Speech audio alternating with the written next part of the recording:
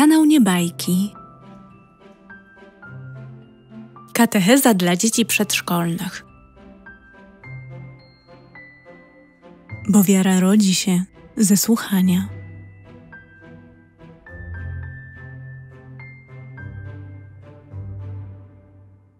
Odcinek czternasty. Pan Jezus rozmawia z Panem Bogiem. Drogie dzieci, mały Pan Jezus zawsze myślał o Panu Bogu, swoim Ojcu, który jest w niebie. Rozmawiał z Nim, modlił się. Modlić się to znaczy po prostu rozmawiać z Panem Bogiem. Pan Jezus modlił się ze swoją mamą i świętym Józefem codziennie rano i wieczorem. W ciągu dnia także często mówił Panu Bogu, że go kocha i że chciałby, aby wszyscy kochali go tak bardzo jak on. Mówił Panu Bogu: Jestem gotów i chcę Tobie służyć i robić wszystko, czego Ty pragniesz. Każdego dnia modlił się za swoją ukochaną mamę i za świętego Józefa. I Wy także powinniście codziennie modlić się za Waszą mamę i Waszego tatę. Tego chce od Was Pan Jezus.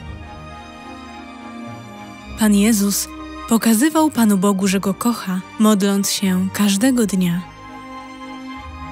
Nawet kiedy był zmęczony, mały Pan Jezus klękał, skupiony i ze złożonymi dłońmi wypowiadał słowa modlitwy.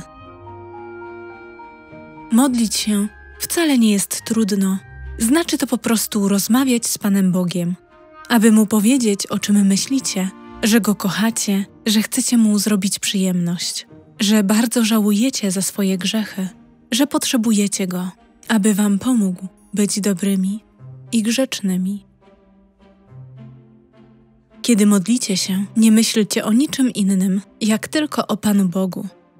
Aby było Wam łatwiej, zamknijcie oczy i powiedzcie: Chcę myśleć o Tobie, mój dobry Boże. Pan Bóg jest Waszym najlepszym Ojcem i Waszym największym przyjacielem. Nie możecie go zobaczyć, ale on was widzi i słucha was zawsze z uwagą, kiedy do niego mówicie. On myśli o was podczas całego dnia, a także w nocy. On nigdy nie jest zmęczony, aby wam dawać dobre rzeczy. Pamiętajcie o tym, że On zesłał swojego Syna, Pana Jezusa, na ziemię, abyście pewnego dnia mogli pójść do nieba i być szczęśliwi razem z Nim na zawsze. Pan Bóg jest tak dobry. Ale niektórzy chłopcy i dziewczynki nigdy o nim nie myślą, nie modlą się, nie dziękują Panu Bogu za wszystko, co dla nich uczynił. Nie rozmawiają z nim. To wszystko nie świadczy o nich dobrze. Dobry Bóg chce, abyśmy myśleli o nim, rozmawiali z nim, jak to robią Łucja i Erek. Oni są dobrymi dziećmi. Są bardzo grzeczni i posłuszni wobec Pana Boga. Łucja i Eryk klękają, kiedy się modlą, ponieważ jest to najlepsza postawa, kiedy rozmawiamy z Panem Bogiem. Nauczmy się modlić tak, jak oni. Jest poranek. Łucja budzi się i wstaje. Pierwszą rzeczą, jaką robi, jest uklęknięcie, zrobienie znaku krzyża i odmówienie modlitwy porannej. Oddaje swoje serce Panu Bogu, dziękuję Mu za dobrą noc i odmawia modlitwę ofiarowania na cały dzień. O mój Boże, uwielbiam Cię i kocham z całego serca. Ofiaruję Ci cały mój dzień, ofiaruję Tobie wszystkie moje myśli, wszystkie moje słowa, wszystkie moje uczynki. Pomóż mi być dobrą i posłuszną. Błogosław tatę, mamę i wszystkich, których kocham. Codziennie wieczorem, przed pójściem spać, Eryk klęka i odmawia modlitwę wieczorną. Mój Boże, uwielbiam Cię i dziękuję za wszystko, co dziś dla mnie uczyniłeś. Pobłogosław tatę, mamę i wszystkich, których kocham. Następnie Eryk przypomina sobie, co zrobił dla Pana Boga, aby mu sprawić przyjemność. A może było inaczej? Może w czymś sprawił mu przykrość. Mówi więc Panu Bogu za to, co było niedobre. Mój Boże, smutno mi, że sprawiłem Tobie przykrość. Proszę Cię o wybaczenie. Pomóż mi już więcej nie grzeszyć. Na koniec modlitwy Eryk prosi Pana Jezusa, aby go pobłogosławił i czuwał nad nim całą noc. Co powinniście robić każdego wieczoru? Przed pójściem spać, zamknijcie oczy i pomyślcie o Panu Jezusie, o tym, jak On zachowywał się i co robił w domu rodzinnym, w domu modlitwy, w szkole, podczas pracy i zabawy. Wszystkie dzieci z Nazaretu chciałyby być do Niego podobne. A czy ja chcę być do Niego podobny? Przyjrzyjmy się temu, co robiłem dzisiaj. Czy modliłem się rano? Czy modliłem się wieczorem? Czy walczyłem jak Pan Jezus? Czy chciałem mu sprawić przyjemność? Czy byłem posłuszny? Czy pomagałem mamie i tacie? Czy biłem się z innymi? Czy zawsze mówiłem prawdę? Czy pożyczałem innym moje rzeczy?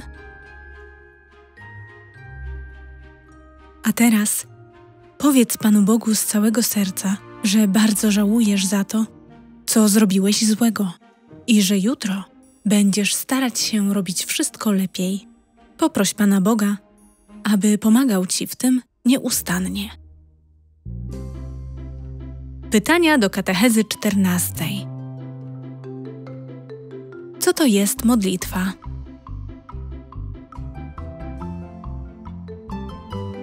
Kiedy Pan Jezus modlił się ze swoją mamą i świętym Józefem?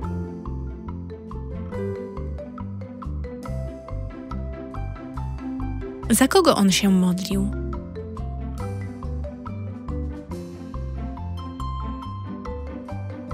Pan Jezus chce, abyście modlili się każdego dnia. Za kogo? Co możecie powiedzieć Panu Bogu, kiedy się modlicie?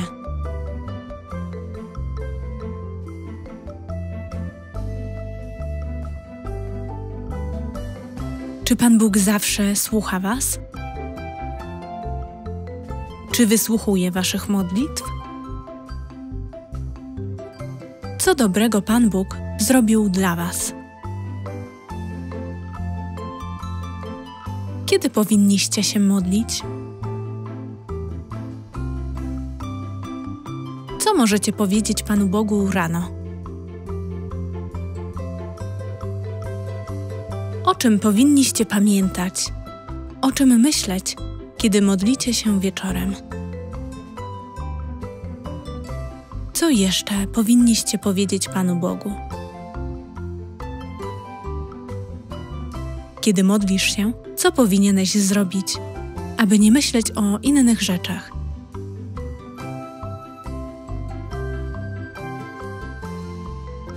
Doskonale. Zadanie. Spróbuj dzisiaj narysować siebie klęczącego przy łóżku i modlącego się. Kochany Panie Jezu, chcę Ciebie naśladować. Będę odmawiać moją modlitwę każdego ranka i każdego wieczora, tak jak Ty. Kiedy się modlę, rozmawiam z Panem Bogiem. Mogę odmawiać modlitwę do Anioła Stróża albo Zdrowaś Maryjo. Mogę często rozmawiać z Panem Bogiem w ciągu dnia. Jak bardzo Pan Bóg jest szczęśliwy, kiedy nie zapominam o Nim.